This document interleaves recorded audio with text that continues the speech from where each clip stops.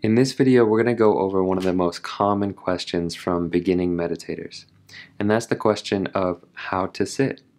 Is there a correct posture for meditation? Now, from you know society and movies, we get a lot of images of what a good meditator looks like, and usually when we see it in the movies, they're doing some sort of funky yoga pose or full lotus posture. But I'm here to tell you that you don't have to do any funky yoga positions to practice mindfulness. Mindfulness is really more about something we're doing with our mind than something we're doing with our body. So you can really do mindfulness in any position, whether you're sitting, standing, walking, or lying down, even when you're chopping vegetables or brushing your teeth.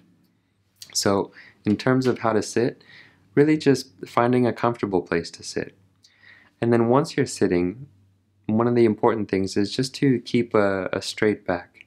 So one way to do this is to just lengthen the spine a bit. But we don't want to be too erect. You know, you'll see some people meditating and they're too stiff like this.